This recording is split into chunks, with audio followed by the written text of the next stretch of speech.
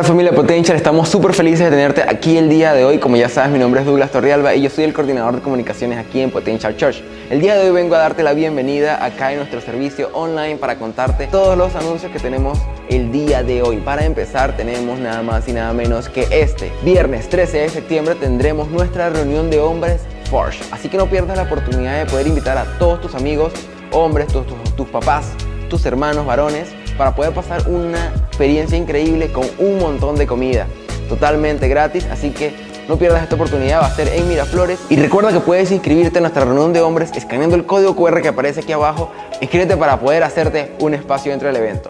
Aparte de eso, te quiero comentar de que este 17 y 18 de octubre tendremos nuestra reunión de mujeres con unas invitadas súper especiales que es Katy Caballero y la congresista Milagros Aguayo. Y también tendremos la presencia de nuestra queridísima pastora Steph y la pastora María aquí en Chi. Así que no pierdas la oportunidad. Recuerda que las entradas las puedes conseguir escaneando el código QR que aparece aquí en pantalla y de esa manera poder pasar un tiempo increíble, un tiempo transformador y un tiempo que va a marcar un antes y un después en tu vida. Así que bueno, a continuación vamos a preparar nuestros corazones para la prédica del día de hoy, así que nos vemos. I felt that God had created me to help people reach their potential. And when I think of potential, I think of what God created them to be. I want you to know that you were created with potential. It's not just the celebrities, it's not just the rich or the wealthy or the educated. It's you, it's me, it's all of us. We were in the mind and heart of God before any of our hearts began to beat or our lungs began to take in air. I, I wanted to talk about what our challenges are and uh, what can help us and what are some of the obstacles that we're going to deal with because they're all in the story of Moses and his people's journey to the promised land.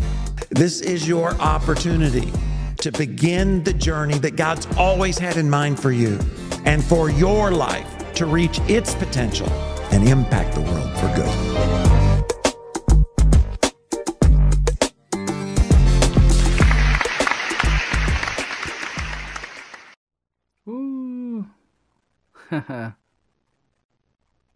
¿Cuántos estaban vivos en 1999?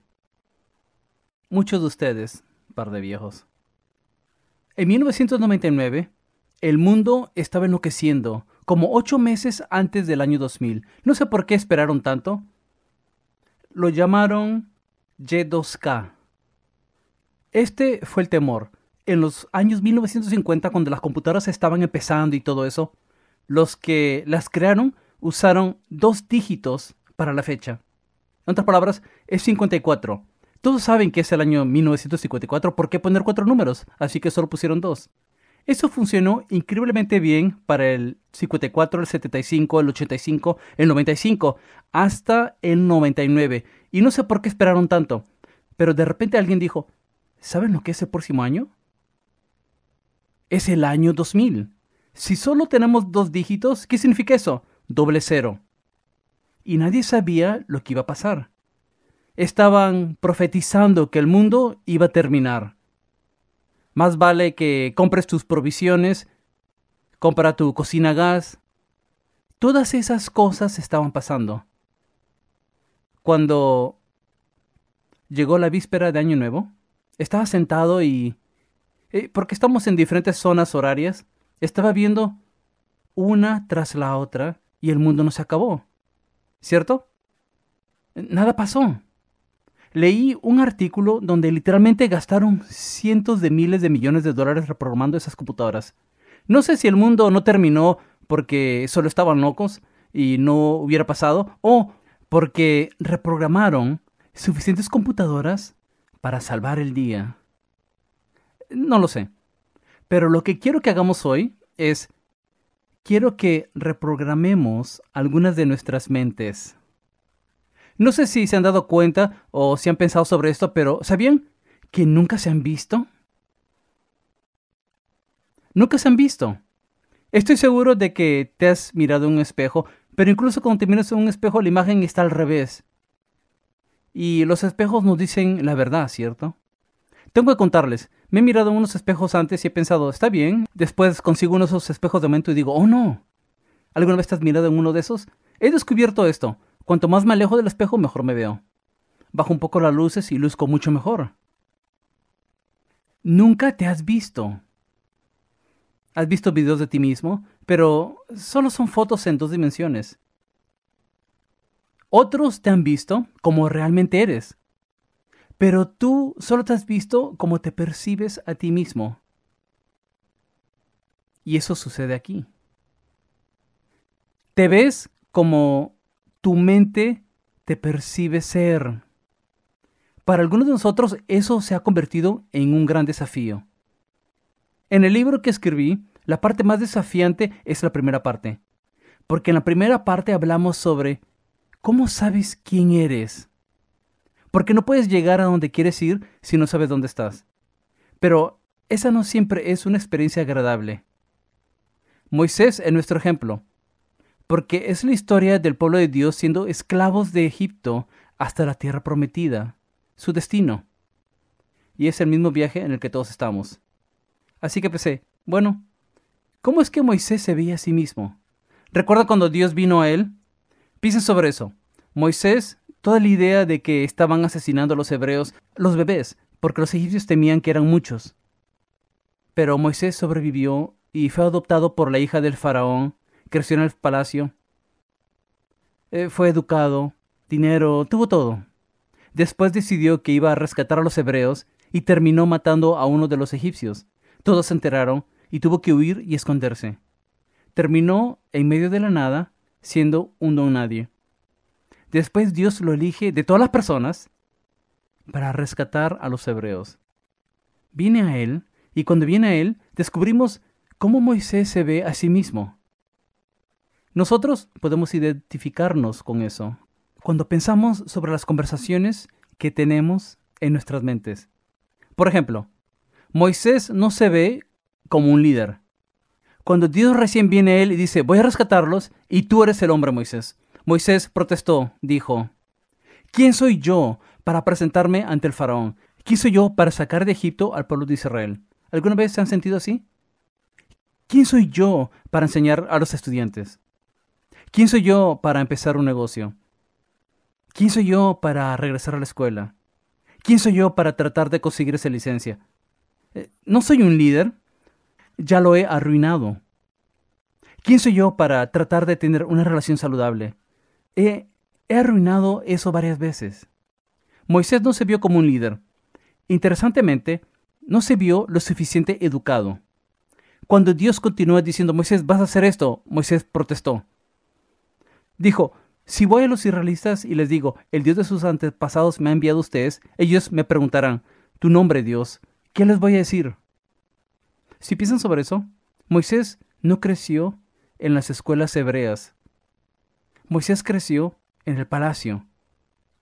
Moisés no creció escuchando sobre el Dios de Abraham, Jacob e Isaac creció escuchando sobre el dios del Nilo, el dios del sol, el dios de los egipcios. Cuando se fue, ¿cierto? Y se encontró en medio de Madián, su suegro y su esposa eran madianitas. No seguían al dios de los hebreos, Yahvé. No. Entonces, Moisés no sabía mucho y Dios lo escogió él. De todas las personas va él y dice, voy a hacer que vayas y Moisés está como, pero no sé qué decir.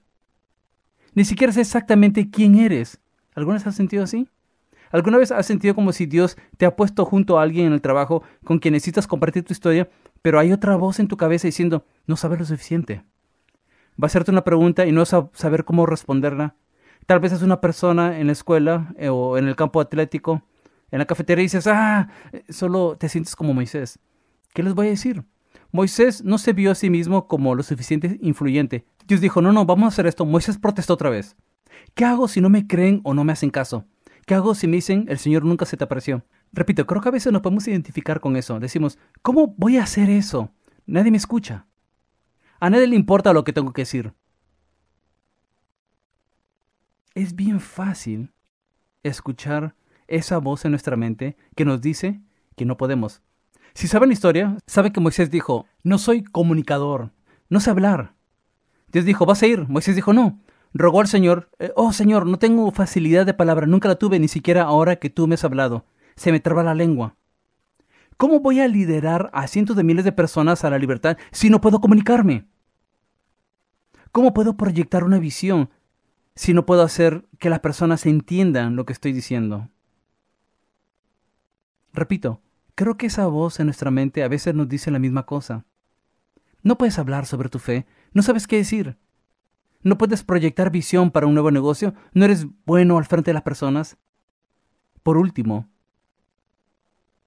creo que Moisés no quería regresar a su lugar de fracaso. Miren lo que dice en el versículo 13. Pero Moisés suplicó, Te lo ruego, Señor, envía a cualquier otro. No creo que quisiera saber la respuesta de quién era en realidad, porque pensó que lo sabía. Soy un don nadie en ninguna parte. Soy un fracaso. No sé cómo volar, no tengo influencia, no importo. Y no quería regresar a Egipto y descubrir que todas esas voces en su cabeza tenían razón. ¿Alguna vez te has sentido así? ¿Alguna vez has sentido que la razón por la que no puedes perseguir tu sueño es por lo que has fallado en el pasado? ¿Alguna vez has sentido como si no quieres mirarte en el espejo porque temes lo que vas a encontrar? Solo, solo vas a alejarte. Creo que ahí es exactamente donde Moisés está. Sé que, eh, sé que para mí, yo tengo esa pequeña voz en mi cabeza cuando pienso sobre... He compartido con ustedes hace unas semanas cuando hablé sobre relanzar nuestros servicios del fin de semana en nuestro campus en Pensacola para que vaya con la escuela y todas las cosas que están pasando ahí. O cuando hablamos sobre los domingos en la noche, empezando un servicio en español. Una pequeña voz en mi cabeza dice, has hecho eso en el pasado. Has tenido diferentes servicios, has tenido servicios en portugués. Fue bueno por un tiempo hasta que el líder se fue para regresar a Brasil. Hemos tenido toda clase de diferentes ministerios en español, pero con todos los diferentes orígenes étnicos. A veces es una lucha, a veces la gente se enoja.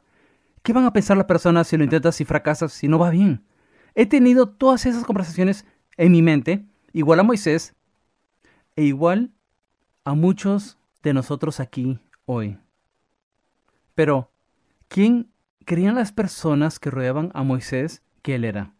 Podemos empezar con sus padres. Sus padres pensaron que era excepcional. En el libro de Hebreos dice que lo escondieron, arriesgaron meterse en problemas con Faraón. ¿Por qué? Dice, porque vieron que no era un niño ordinario. Eso no es sorprendente. La mayoría de los padres creen que sus hijos son únicos y extraordinarios, pero no todos. No solo los padres de Moisés lo vieron como extraordinario. Miren lo que los egipcios, los que temían la gente y, sus hermanos hebreos. En Hechos 7 dice, a Moisés le enseñaron toda la sabiduría de los egipcios y era poderoso tanto en, noten esto, palabras. ¿Qué? Los egipcios pensaron que Moisés era poderoso en palabras y acciones. No lo vieron como él se veía a sí mismo. Más importante, ¿qué dijo Dios que era? Dios le da un obituario a Moisés. Al final de su vida, miren lo que Dios dice sobre Moisés. Nunca más hubo en Israel otro profeta como Moisés a quien el Señor conocía cara a cara. El Señor lo envió a la tierra de Egipto para realizar todas las señales milagrosas y las maravillas contra el faraón, contra toda su tierra y contra todos sus sirvientes. Moisés realizó con gran poder hechos aterradores a la vista de todo Israel. Dios dijo, no dijo que Moisés no tuvo influencia, que no podía liderar, no, dijo lo contrario. Así es como Dios lo vio, es como los egipcios lo veían, y eventualmente es como Moisés se vio a sí mismo. La conversación en la mente de Moisés cambió. Miren lo que dice en Hechos 7:37. Dice, Moisés mismo, estas son las palabras de Moisés, le dijo al pueblo de Israel, Dios les levantará un profeta como yo de entre su propio pueblo. ¿Saben quién es el profeta del cual está hablando? Jesús. Así que Moisés dice, Dios va a levantar para ustedes a Jesús, igual a mí, un profeta como yo. Esa es otra mentalidad, ¿no es así? ¿Qué pasó? Quiero saber cómo lo hizo Moisés, porque quiero experimentarlo en mi vida. Quiero que ustedes experimenten esa clase de transformación en sus mentes. Moisés ganó la batalla por la mente. Ganó la batalla de todas las diferentes voces que estaban hablando en su mente, así como en ti, ¿cierto? Tienes todas estas voces en tu cabeza en este momento. Te preguntas, ¿cierto? Eh, tienes esta voz diciendo, me pregunto si va a llover. ¿Subimos las ventanas? ¿Traje el paraguas? Algunos están como, me pregunto dónde vamos a ir a comer. Otros están pensando, ya he predicado un sermón, ¿va a predicar otro? Me pregunto a qué hora vamos a salir de aquí. Al mismo tiempo, algunos están pensando sobre lo que estoy diciendo. Todas estas conversaciones están pasando al mismo tiempo. ¿No es eso increíble? Algunas son palabras de verdad, de ánimo, y otras llevan a la destrucción. El escritor de sabiduría dice esto en Proverbios 23:7, pues como piensa dentro de sí, así es él. Como piensa, en otras palabras, piensen sobre esto. Lo que pensamos determina las acciones que hacemos, lo cual nos da los resultados que tenemos. Si haces la pregunta, ¿cómo llegué aquí? ¿Cómo llegué aquí? Para algunos eso significa, nunca pensé que experimentaría lo que estoy experimentando o tener el éxito que tengo. ¿Cómo llegué aquí? Puedo contarles cómo llegaron aquí. Por lo que pensaron, por la manera en la que piensas, la voz a la que escuchaste. Si estás aquí y dices, no sé cómo llegué aquí, nunca pensé que tuviera esta cantidad de relaciones rotas o que estuviera luchando con mis finanzas, Pensé que para ahora tuviera mi título universitario. Eh, solo no sé cómo llegué aquí. Puedo contarte cómo llegaste donde estás, sin importar dónde estés. Es por cómo piensas. Eso es lo que las escrituras dicen. Pues cómo piensa dentro de sí, así es Él. Lo que nosotros pensamos determina dónde vamos a terminar. No nuestras circunstancias, no la tasa de interés, no quién es el presidente, Todas esas cosas crean toda clase de cosas, pero no determinan dónde nosotros terminamos en cuanto al escritor de la sabiduría. La batalla por tu mente y mi mente es mucho más importante de lo que nos damos cuenta. Entonces, ¿quién eres en realidad? Romanos 12 dice esto, no imiten las conductas ni las costumbres de este mundo, más bien dejen que Dios los transforme en personas nuevas. ¿Cómo? Al cambiarles la manera de pensar. Ahora, el Nuevo Testamento fue escrito en griego y la palabra transformar de ahí, en griego, solo se encuentra en otro lugar. Se encuentra en el monte de transfiguración, donde Jesús reveló a Pedro, Santiago y Juan su esencia interna. Su gloria fue vista. Entonces, las escrituras nos dicen que no debemos copiar la mentalidad o escuchar las voces de este mundo, sino dejar que Dios impacte nuestra esencia interna, que cambie quién somos. ¿Cómo? Con lo que pensamos. Lo que pensamos determina cómo actuamos y cómo actuamos determina los resultados que tenemos. Entonces, muchos de nosotros necesitamos una reprogramación. Necesitamos cambiar la manera en la que pensamos como dije, todas estas voces están hablando en este momento. Algunos dicen, así es, otros dicen, no está correcto. Y otros dicen otras cosas, ¿está bien? Puedo contarles sobre las voces cuando estaba escribiendo el libro. En mi propia mente, no puedo contarles la cantidad de veces que pensé, no puedo hacer eso, no sé cómo hacer eso. Lo levantaba y después lo dejaba de nuevo. Pasaban meses. ¿En realidad va a ser de ayuda? Algún día se imprimirá? No decía estas cosas en voz alta, esta conversación pasaba en mi mente. Nadie va a leer ese libro, nunca se imprimirá. ¿No se va a vender? ¿No va a hacer una diferencia? No lo intentes. Las conversaciones, la batalla que todos tenemos en nuestra mente. El problema con eso es que una mente desprotegida es peligrosa. Voy a mostrarles a lo que me refiero. En Efesios 4 dice, con la autoridad del Señor digo lo siguiente, ya no vivan como los que no conocen a Dios, porque solo están confundidos, vagan, no saben a dónde ir o qué hacer, solo están perdidos en este mundo caótico. Dice, tienen la mente llena de oscuridad, sus mentes se han vuelto oscuras, vagan lejos de la vida que Dios ofrece porque cerraron la mente y endurecieron el corazón. Vagan. Están a la deriva. Y mientras se alejan de Dios, tienen que recordar, Jesús vino, murió y entregó su vida para que nosotros podamos experimentar lo que nos creó hacer, experimentar la vida de significado por la que fuimos creados. Las escrituras nos están diciendo que necesitamos tener cuidado porque cuando nuestras mentes se vuelven oscuras, cuando nuestros corazones, cuando decidimos, ¿sabes qué?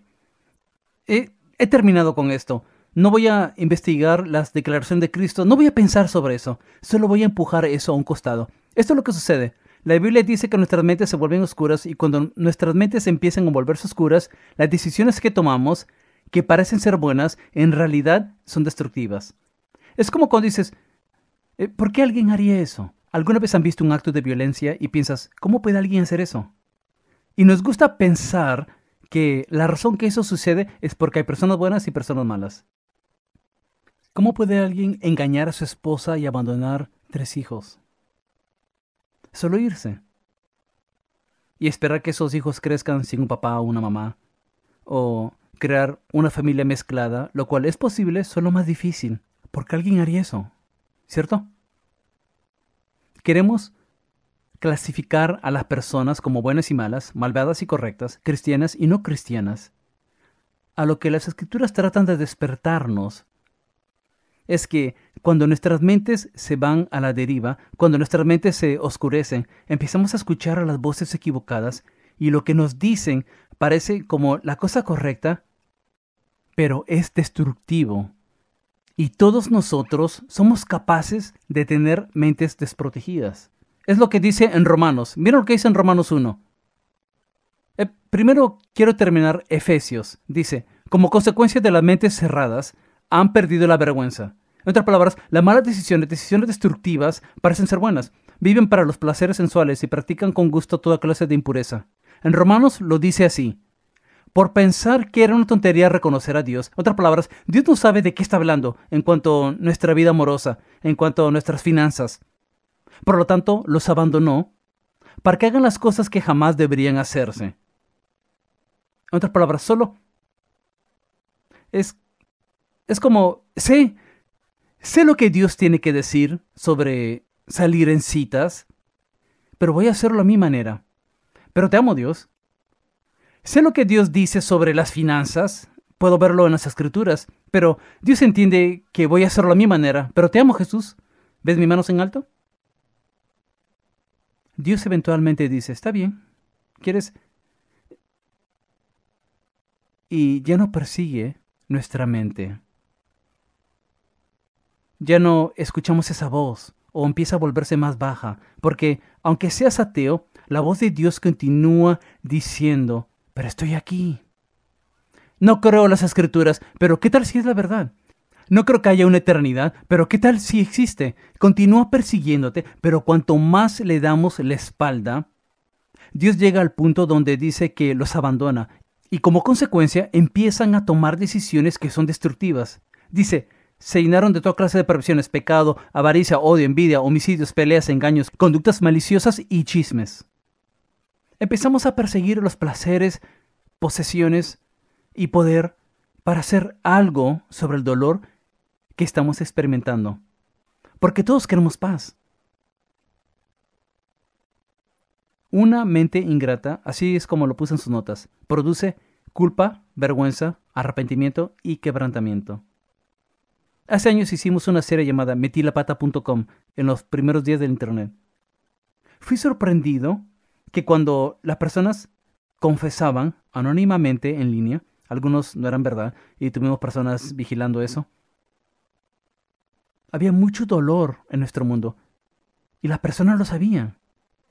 Hubo muchos que tuvieron que ver con pornografía, Estoy atrapado en la pornografía y sé que está destruyendo mis relaciones, pero no sé cómo dejarla. Si hubiera estado tomando café con esa persona, Suro hubiera discutido conmigo que lo que estaban mirando no estaba afectándolo. Pero solo porque una mente desprotegida crea culpa, crea quebrantamiento, crea una sensación de arrepentimiento. ¿Alguna vez han hecho algo que parecía bien en el momento y después te arrepentiste? A veces son cosas grandes, a veces son pequeñas. Por ejemplo, lo hice el viernes. El viernes, nuestra hija menor, Bailey, y su esposo Larry, descubrieron el género del bebé que van a tener. Como estoy aquí en la plataforma, voy a mostrarles el video. Esto es lo que pasó el viernes.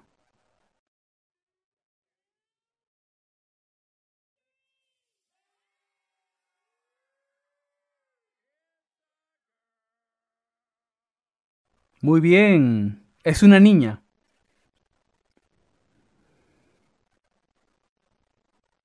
Así es como yo me sentí. No tuve nada que ver con eso, pero estaba emocionado sobre eso. Pensé, necesitamos celebrar. Así que fuimos a un restaurante de carnes brasileño. ¿Saben qué? En un restaurante de carnes brasileño solo continúan trayéndote comida. Solo continúan trayéndolo. Son bien amables. ¿Te gustaría esto? Ah, me siento mal diciendo no. Entonces, comí mucha comida porque me lo merecía. Después, apenas llegué a casa, empecé a arrepentirme de toda la proteína, toda la carne que había comido.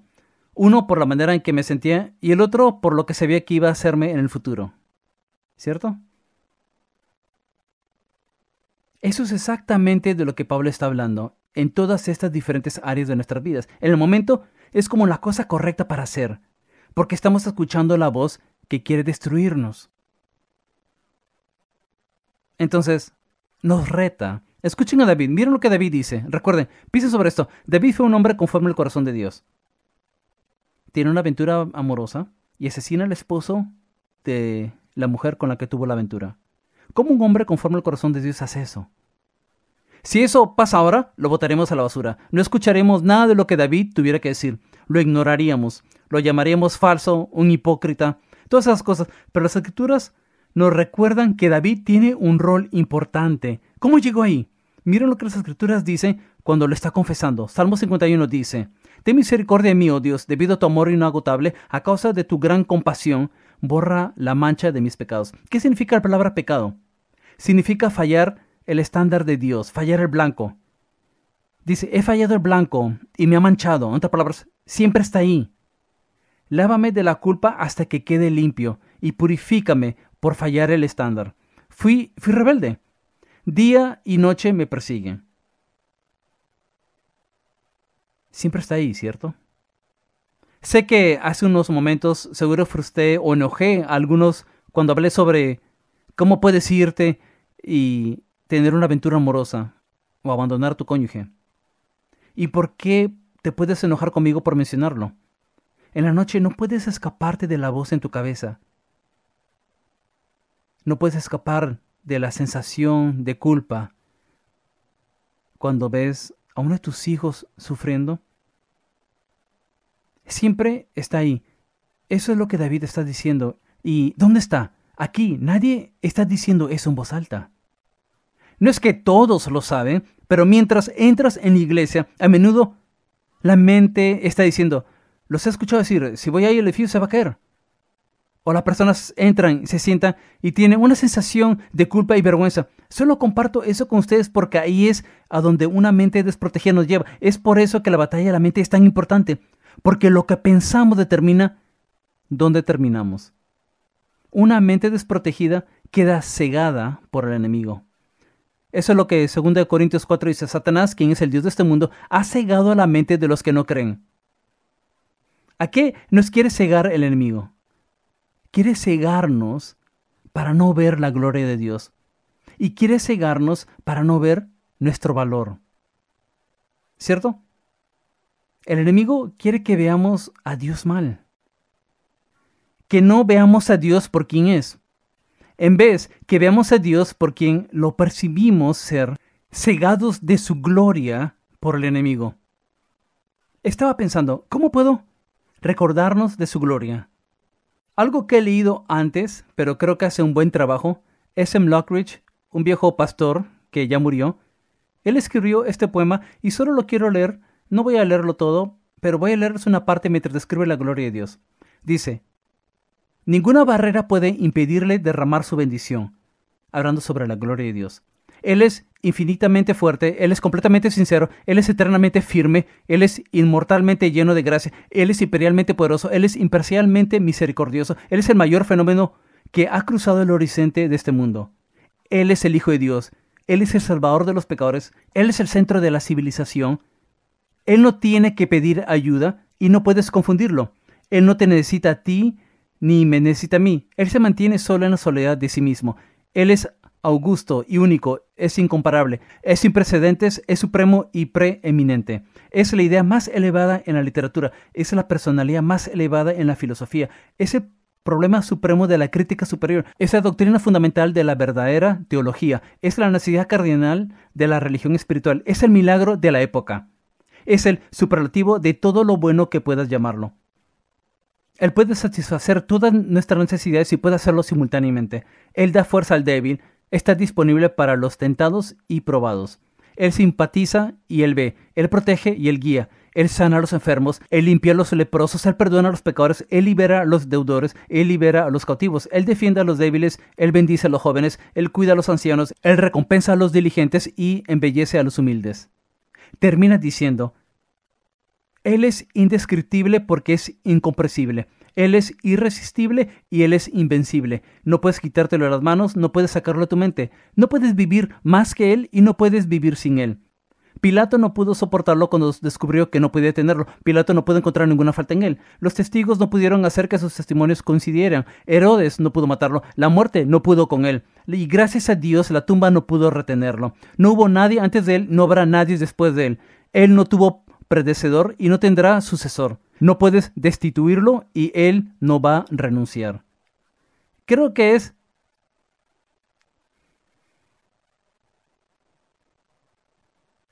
Creo que es un hermoso recordatorio de la gloria de Dios.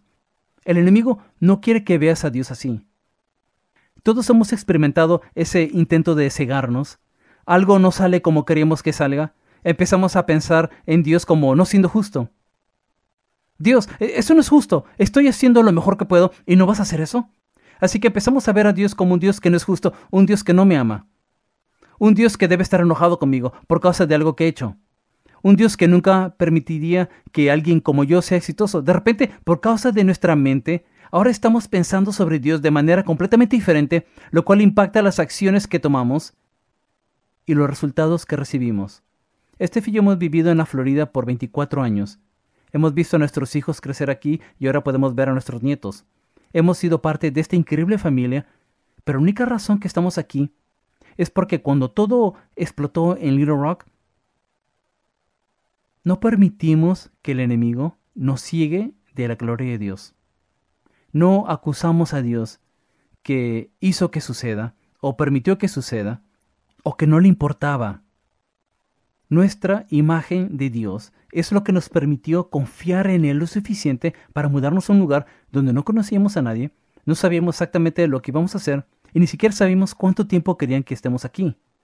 Lo que piensas sobre Dios importa. Y el enemigo quiere cegarte. Y esa conversación que tienes en tu mente, tal vez en este momento, porque algo pasó en tu matrimonio o con la persona con la que estás saliendo, tus finanzas no están donde quieres, o tu supervisor te despidió, y el enemigo está susurrando, tu carne está hablando a tu mente, diciéndote que no puedes confiar en Dios, que no debe ser real, y la Biblia no funciona. Pero también quiere cegarte de tu valor. La cultura, el enemigo nos dice que no importas. No tú. Solo eres uno de miles de millones de personas que han vivido en este planeta. Solo eres normal, ¿cierto? No eres una celebridad, no eres un influencer, no eres rico, no fuiste a la escuela correcta. Piensen sobre esto. Hay 7 millones de personas en el sur de Florida, solo eres uno de ellos. Ni tu vecino sabe tu nombre. No importas, por lo tanto, lo que sueñas no importa. Tu impacto no va a importar. No hay nada que perseguir, no hay impacto que hacer, no hay diferencia que perseguir.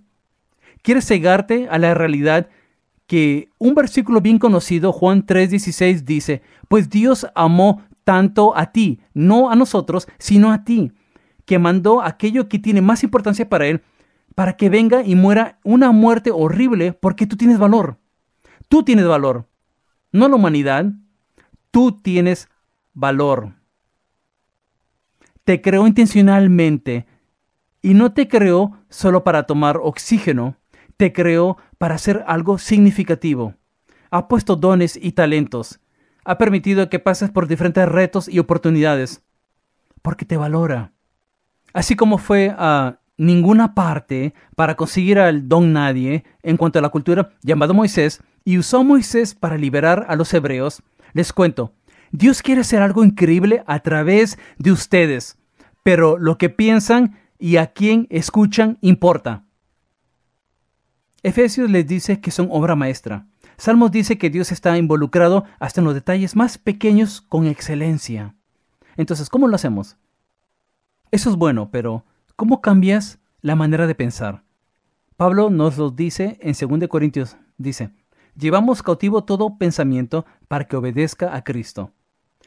Tenemos que tener intencionalidad sobre nuestra manera de pensar, porque si lo hacemos, Él dice en el versículo 3 y 4, dice, somos humanos, pero no luchamos como lo hacen los humanos. Usamos las armas poderosas de Dios, no las del mundo, para derribar las fortalezas del razonamiento humano y para destruir argumentos falsos. En otras palabras, la humanidad no tiene armas para luchar contra la manera equivocada de pensar que está pasando en tu mente.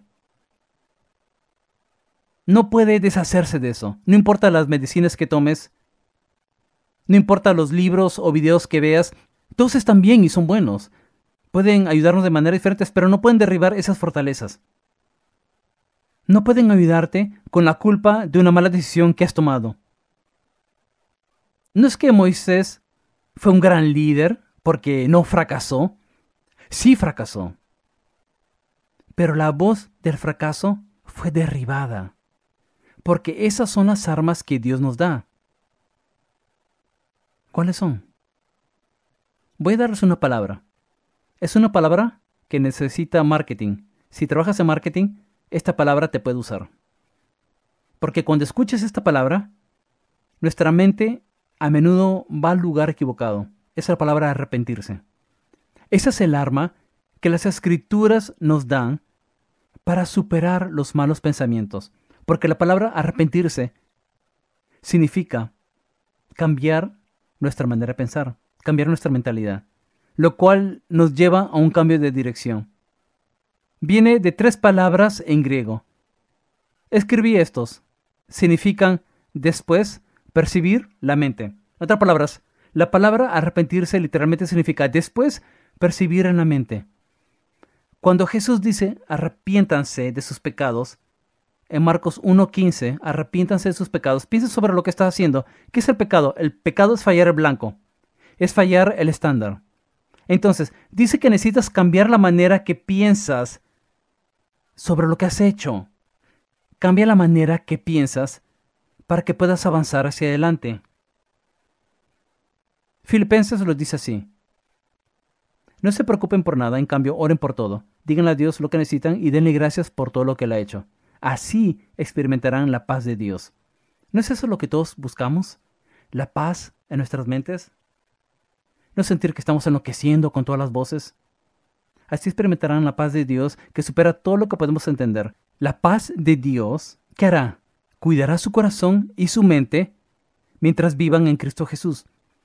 Esta paz tiene la habilidad de evitar que mi mente se vuelva oscura para que no escuche todas estas voces que me dicen que no puedo, no podré y nunca lo haré. Me protege para que pueda hacer qué. El versículo 8 nos dice una última cosa, concéntrense. Así que hay intencionalidad en esto. No podemos ser pasivos. Así es como vivimos con una mente desprotegida. Solo permitirme pensar sobre lo que sea que pienso.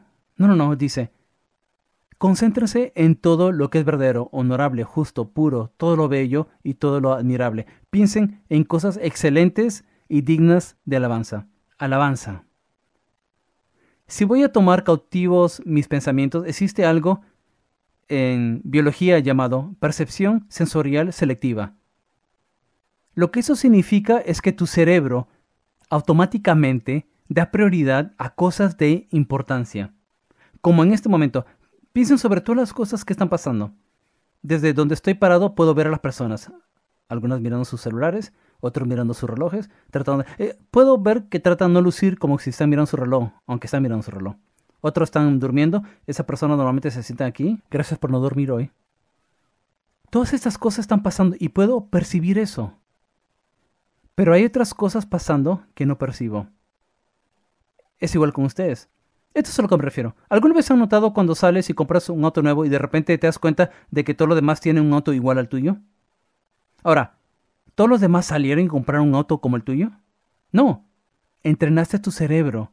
Le dijiste a tu cerebro, este tipo de vehículo es prioridad para mí. Ahora, de repente, sin que hagas, solo estás manejando y de repente ese auto es igual al mío.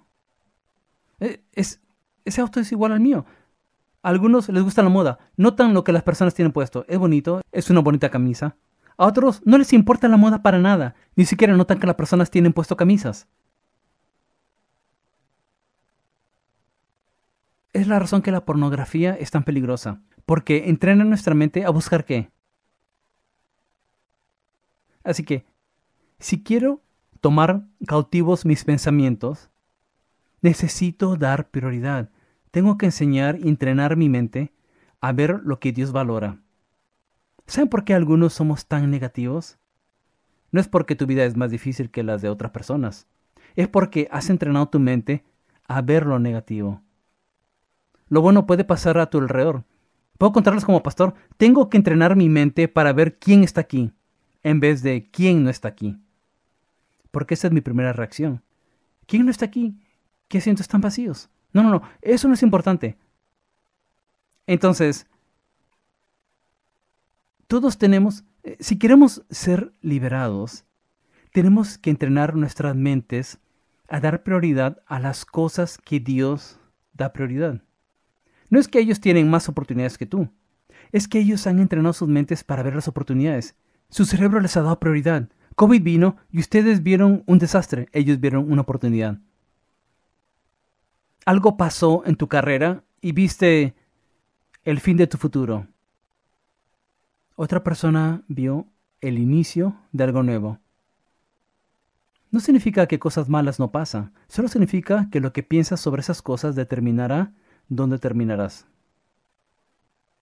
Pero tienes que decidir igual a mí. Es un entrenamiento constante de mi mente. Es una batalla constante porque el enemigo es como un león rugiente. Está buscando una oportunidad para decirte que no vale la pena. No puedes hacerlo, no importas, y a Dios no le importa, ni siquiera existe. Tenemos que... Es por eso que cómo vivimos nuestras vidas en cuanto a lo que llevamos a ella, nuestra fidelidad a su casa, todas esas cosas son importantes. Inclinen sus rostros. Quiero orar por nosotros. Sé que hay algunos aquí que tal vez nunca han confiado en Cristo. Sin el Espíritu es difícil estar lleno de esperanza, alegría y paz. Quiero que confíes en Cristo. ¿Alguna vez te has preguntado por qué cuando alguien confía en Cristo su neumático se baja, pero encuentran alegría. No es porque nuestro entorno cambia, es porque nuestra perspectiva cambia. No es que los cristianos no se enferman o no tienen accidentes horribles, los tienen. Es solo que sus perspectivas son diferentes, porque sus perspectivas son diferentes, sus emociones se sienten diferentes, sus futuros son diferentes, sus resultados son diferentes. Si Dios ha encontrado tu silla, ya sea que estés en casa o aquí y está tocándote. La Biblia dice, todo el que invoque el nombre del Señor será transformado, rescatado, cambiado. Puedes hacerlo justo donde estás. Solo sé humilde. Di, Dios, te necesito. Confío en ti. Aunque hay muchas cosas de qué hablar con Dios, tal vez en el futuro, en este momento, la cosa más importante para ti Puede ser decir, Dios, me entrego a ti. Estoy cansado, perdóname por tratar de hacer esto a mi manera. Estoy cansado de la batalla que sigo perdiendo en mi mente. Estoy cansado de solo ver oscuridad. Estoy cansado de lidiar con decisiones destructivas. Estoy cansado de la desesperanza. Te necesito, necesito paz. La Biblia dice que si decimos eso humildemente o pedimos con corazón rendido a Él, Dios hará lo que le pedimos que haga. Así que dile gracias, Padre, te agradezco por tu palabra. Que el enemigo sea derrotado en todos nuestros corazones y mentes. Que seamos un pueblo que cambie el mundo. Una persona a la vez. En el nombre de Jesús. Amén.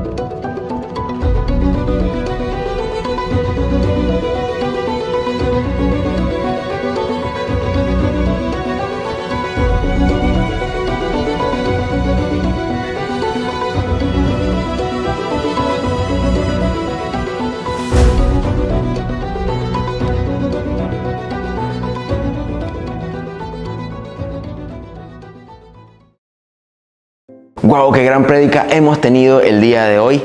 Como ya sabes, tenemos Forge este 13 de septiembre, viernes 13 de septiembre a las 7 y media de la noche, así que no pierdas la oportunidad de poder inscribirte a través del código QR que está apareciendo aquí abajo para poder apartarte un espacio. Aparte, quiero comentar que este 17 y 18 de octubre tendremos nuestra noche Chi, una noche inolvidable con unas invitadas súper especial. Aparte que tendremos a la pastora Steph aquí en Lima, Perú. Así que no pierdas la oportunidad de poder escanear el código QR para que puedas adquirir tu entrada.